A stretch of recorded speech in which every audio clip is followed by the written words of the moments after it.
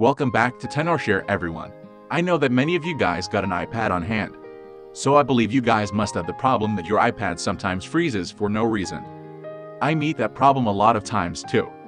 So I check it out, and I find out three ways to fix this issue. Let's go. Method 1.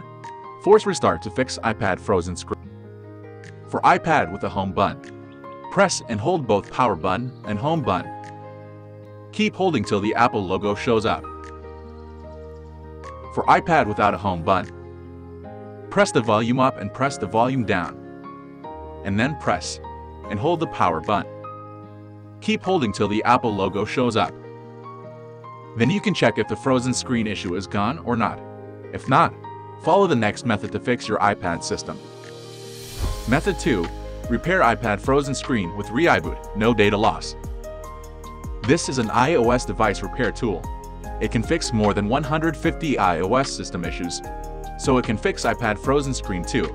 Check the download link in the description if you are interested.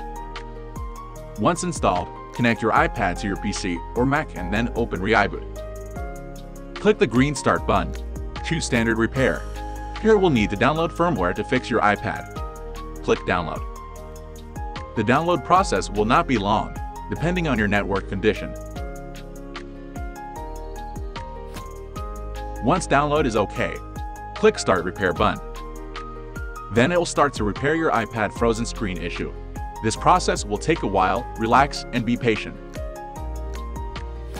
As the process is done, you can see my iPad frozen screen issue disappears. I can access my iPad without any problem, and all my data are still there. Go try it. If you prefer to use iTunes, follow the next method. Method 3.